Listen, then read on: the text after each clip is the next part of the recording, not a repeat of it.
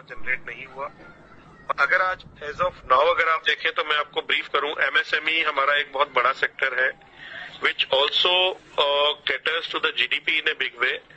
but 50 percent हमारा export जो है, वो oh, on What nonsense you're doing? Camera is on